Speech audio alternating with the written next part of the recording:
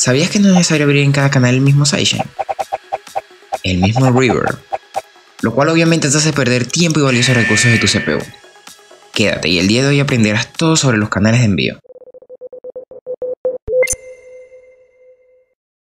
Conocidos por unos como canales de envío o por otros como ruteo. Es un proceso mediante el cual se hace el envío de X cantidad de canales a unos canales especiales, llamémoslo así. ¿Y para qué esto? Sencillo. Por ejemplo, aquí tengo cuatro capas de leaks, dos capas de base y el subbase.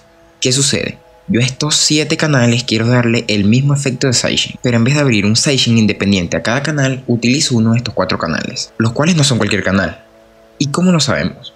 Fácil, sin importar en qué canal estemos ubicados están por defecto, todos, ruteados al máster y a estos cuatro canales de los que le hablo. Además que a simple vista se nota que se encuentran separados de los otros canales. ¿Qué nos permite esto? Cargar un sidechain en alguno de estos canales especiales y simplemente aumentando este node de acá seleccionado el canal, indicar qué tanto sidechain será aplicado a dicho canal. Escuchen cómo solo con este Kickstart es aplicado sidechain a todos los leaks.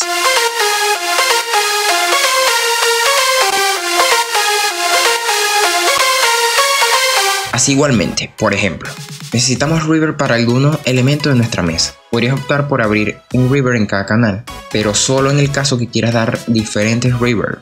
Si quieres darle el mismo efecto de River, abrimos un River por acá. Seleccionamos los canales que necesitan River.